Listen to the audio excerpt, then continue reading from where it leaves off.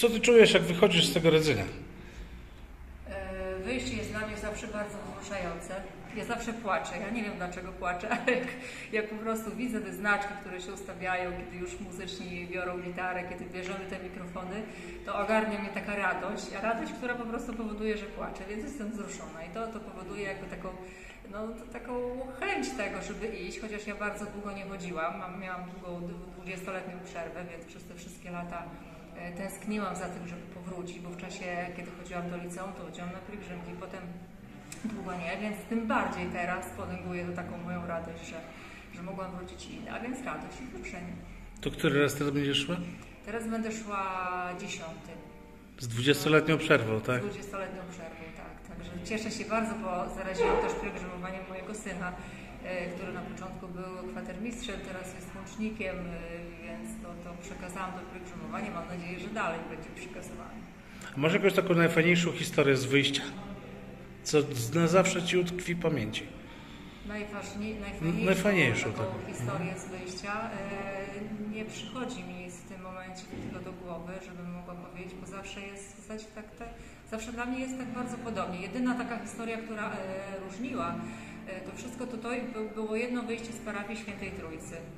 I to było takie inne. Zawsze wychodzimy z parafii Matki Bożej, a wie- chyba dwa czy trzy lata temu wychodziliśmy stąd, więc te, ten moment wyjścia był zupełnie inny, bo przez inne ulice Radzenia przechodziliśmy, inni ludzie nas żegnali, tak, takie zaskoczenie i w pewnym momencie, kiedy mijaliśmy z boku sanktuarium, to wydawało się to trochę dziwne takie, że nie stąd, ale właśnie gdzie, gdzieś, gdzieś indziej, ale to było inne i być może bardzo, bardzo fajne, bo też odczuliśmy co- coś innego. Chcesz kogoś pozdrowić? E, tak, chcę pozdrowić pielgrzymów duchowych na pewno, bo, bo wszyscy wiem, że spotykają się w e, sanktuarium Matki Bożej Nieustającej Pomocy, e, mnóstwo moich znajomych, e, także wszystkich bardzo pozdrawiam i czekajcie na nas, jak, jak wrócimy do, do zobaczenia Tom, pozdrawiamy serdecznie, mieszkańców Obradzenia. Jak nam miło, że nam machacie, super, dziękujemy bardzo. Oto jest dzień, oto jest dzień, który dał nam Pan, który dał nam Pan. Weselmy się, weselmy się i radujmy się w nim, i radujmy się w nim, bo oto jest dzień, który dał nam Pan.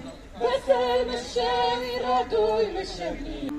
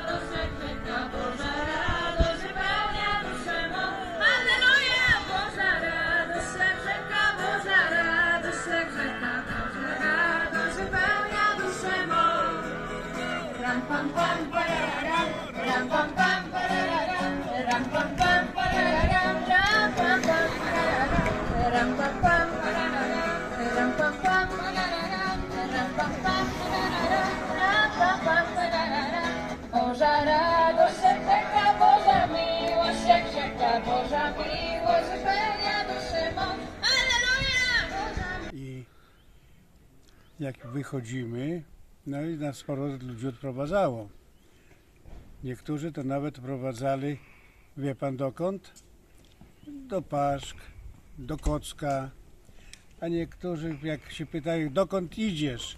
A ja mówię, do mleczarni, bo to mleczarnia wtedy wystawiała w ogóle produkty takie jak, jak na przykład kefiry, tam serki i tak dalej. Do mleczarni i potem się zawracają, ale tak niektórzy to tak chodzili.